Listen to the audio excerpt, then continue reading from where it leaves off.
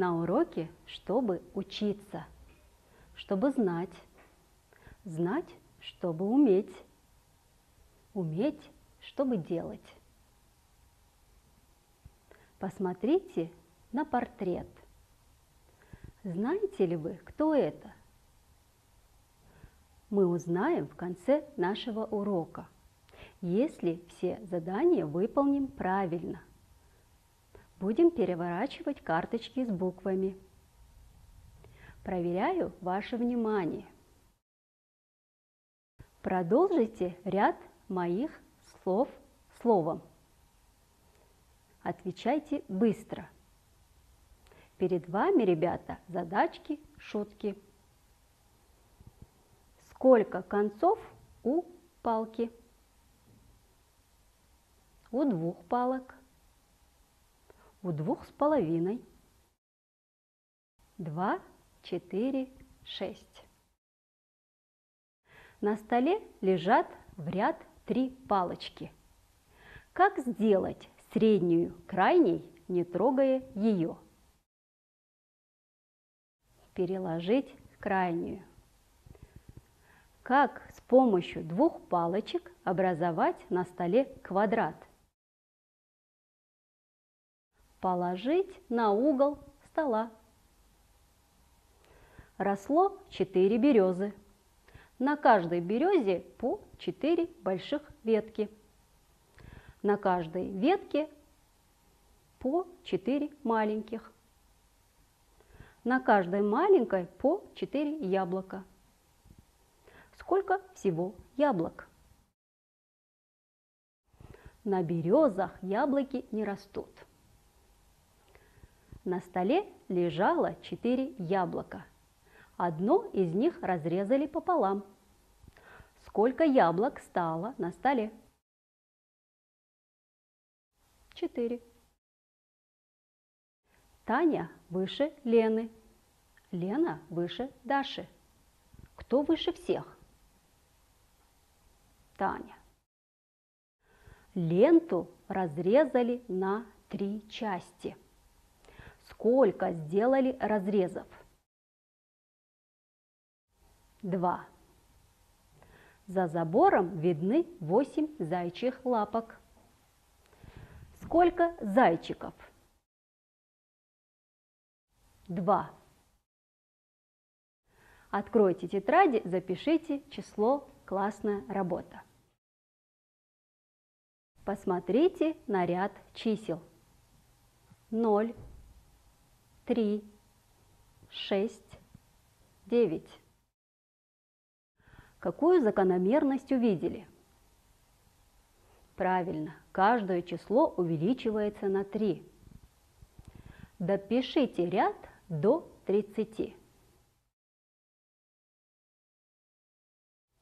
Открываем первую букву П.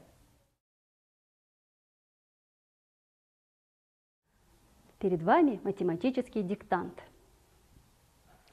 По 9 взять два раза. 18. Найдите уменьшаемое, если вычитаемое 7. Разность 9. 16. Первый множитель 2, второй множитель 7.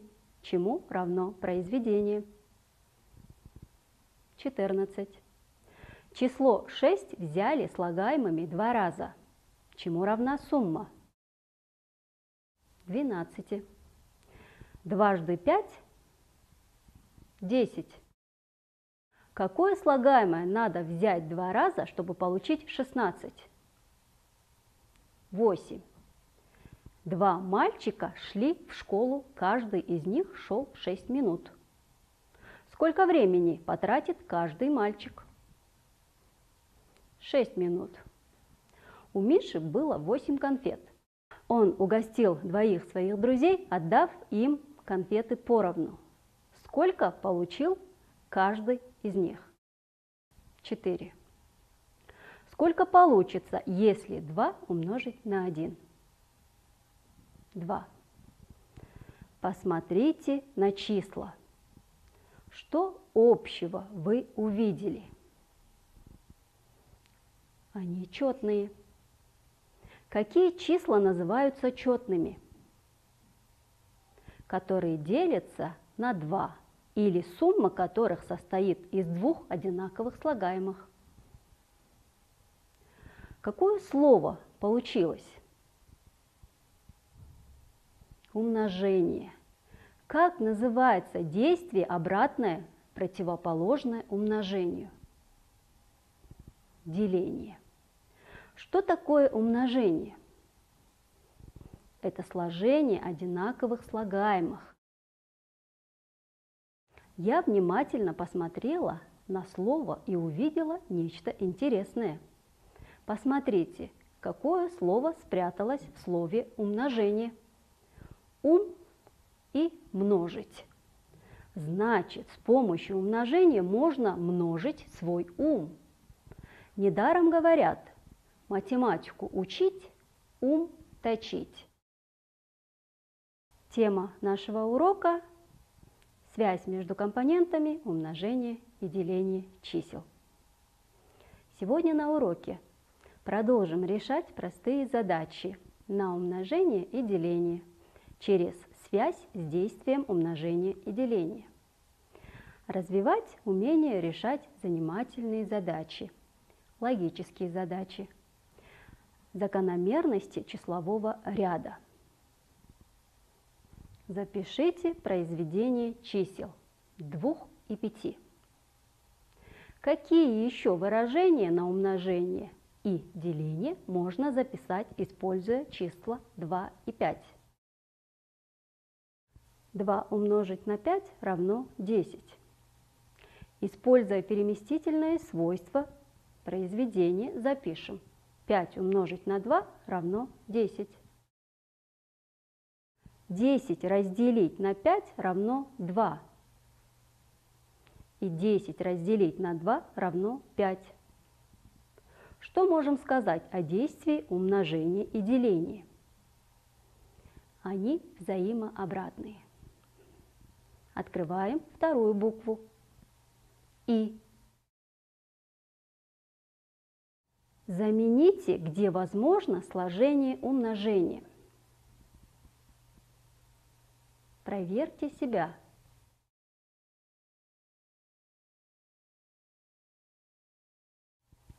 Представьте числа в виде суммы одинаковых слагаемых. Числа 12, 10, 18, 16, 14. 12 это 6 плюс 6. И 12 это 2 плюс 2 плюс 2 плюс 2 плюс 2 и еще раз плюс 2. Заменим умножением. 12 это 4 плюс 4 плюс 4. И 12 это 3 плюс 3 плюс 3 плюс 3. Заменим умножение. 10 это 5 плюс 5. 10 это 2 плюс 2 плюс 2 плюс 2 и плюс 2. Заменим умножением. Остальные числа запишите сами и проверьте себя.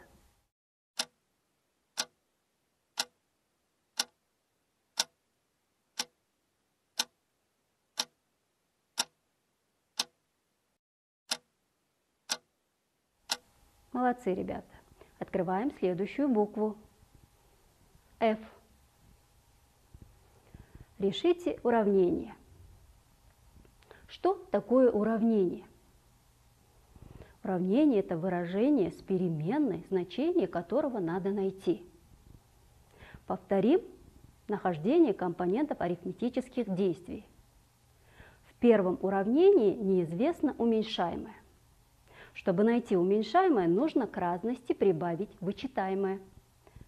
Во втором уравнении неизвестно слагаемое. Чтобы найти неизвестное слагаемое, надо из суммы вычесть известное слагаемое. Проверьте себя. Открываем следующую букву. А. Настало время решать задачи. Сосчитайте число кусочков в шоколаде разными способами. 5 плюс 5 плюс 5 плюс 5 равно 20. 4 плюс 4 плюс 4 плюс 4 и еще раз плюс 4 равно 20. Замените умножением. 5 умножить на 4 равно 20. И 4 умножить на 5 равно 20. А как разделить эту плитку между четырьмя детьми поровну?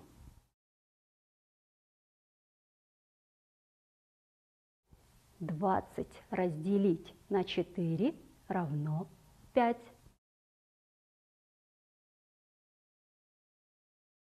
Если детей пять, то сколько кусочков получит каждый?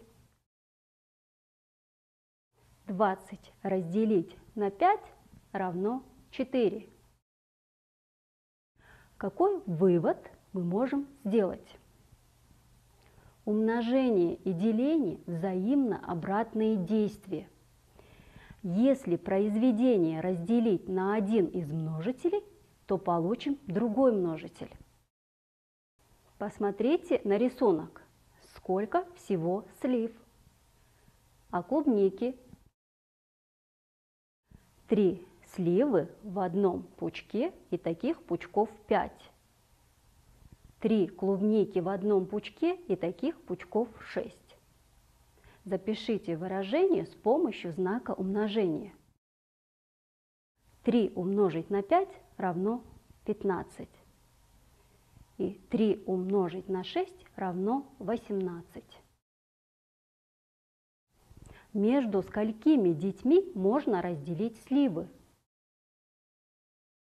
15 разделить на 3 равно 5. И 15 разделить на 5 равно 3. А клубнику 18 разделить на 6 равно 3. И 18 разделить на 3 равно 6. Молодцы, ребята. Открываем следующую букву. Буква Г. Прочитайте задание, найдите площадь прямоугольника. Что надо найти? Площадь. А что такое площадь? Площадь – это величина, которая показывает, сколько места фигура занимает на плоскости. Что измеряем, вычисляя площадь? Ее внутреннюю поверхность. Какими мерками пользуемся? Квадратами. Что надо сделать сначала? Измерить стороны. Измеряйте. Я вычислила площадь желтого прямоугольника. Правильно ли я нашла решение? Решение зеленого первым способом правильно, вторым способом неправильно. Посмотрите внимательно. Площадь прямоугольника равна 3 сантиметра умножить на 4 сантиметра равна 12 квадратным сантиметрам. И площадь прямоугольника равна 3 сантиметра плюс 3 сантиметра плюс 4 сантиметра плюс 4 сантиметра равно 14 сантиметров. Почему эта запись неверная? Это периметр. Что такое периметр? Это сумма длин всех сторон прямоугольника. Ребята, не путайте площадь и периметр. Открываем следующую букву О. Посмотрите на рисунок задачи. Составьте задачи на умножение и деление по рисунку. 8 вишен разложили на 4 пирожных поровну. поскольку вишен будет на каждом пирожном?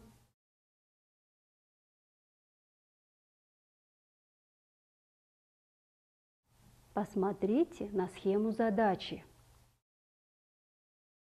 Запишите решение. 8 разделить на 4 равно 2. Ответ по 2 вишни. Следующая задача. 8 вишен разложили на пирожные, по 2 вишни на каждую. Сколько пирожных потребовалось? 8 разделить на 2 равно 4. Ответ 4 пирожных. Какие задачи получили? Обратные. Дополните равенство, ребята. Проверьте себя. Составьте и запишите следующее равенство со знаком деления.